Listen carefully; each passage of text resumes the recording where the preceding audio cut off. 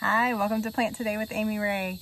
I'm at my parents' house in Louisiana and I decided that there's so many beautiful plants and flowers out here on their property that I'm just going to go kind of foraging and make a flower arrangement of sorts.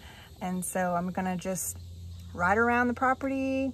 We've got tons of acreage here to kind of travel and see what I can find. I've got a ton of elderberry growing wild all over. So I think I'm gonna grab some of that. Let's see. Try not to fall in the ditch. Also, they have dewberries, which are really awesome. Look at all these dewberries. They're tiny, very thorny, but Mm, a little bit sour, but overall, pretty good. So I think it would be neat to have a whole stem of the berries, kind of like that one. I'm gonna prune that one off right there.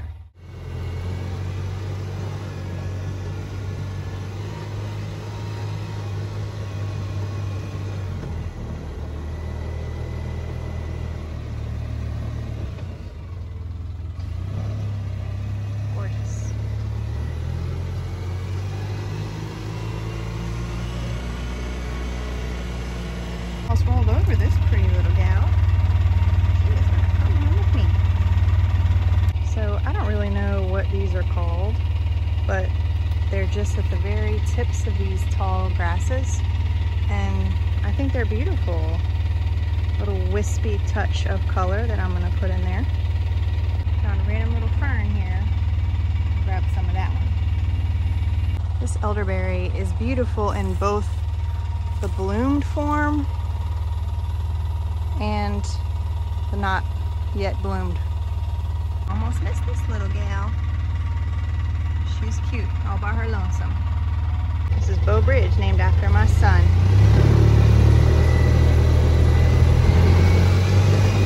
After Bow Bridge, I hit the elderberry jackpot.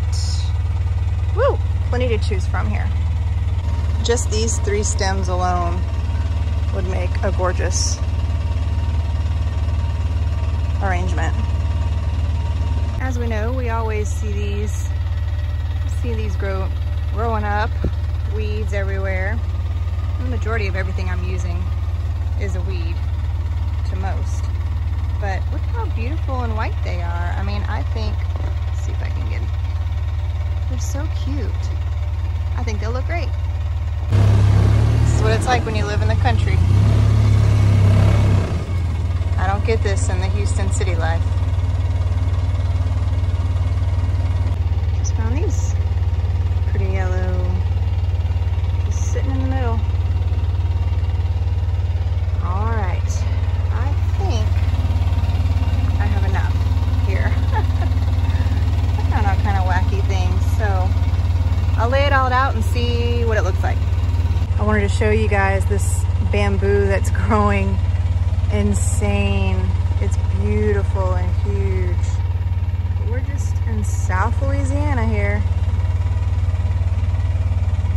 It's so awesome. Okay.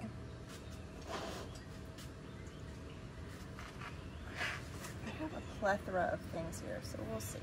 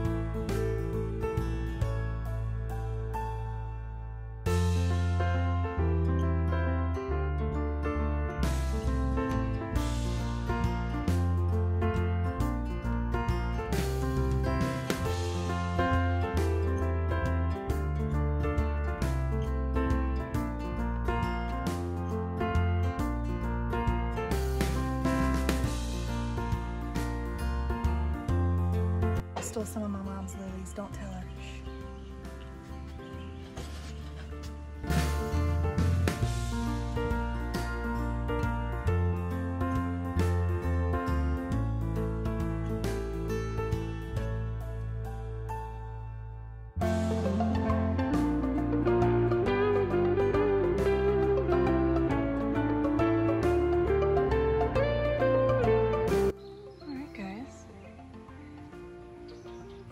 those daylilies really just set it off with the yellow up top. I felt like I needed a little bit more yellow to tie in the other yellow flowers and then I went and grabbed purple things to kind of give it a more springtime feel because I was it was feeling a little fall with just the yellow and white and browns. So this is a little bit more spring, summer. Oh, I just love it.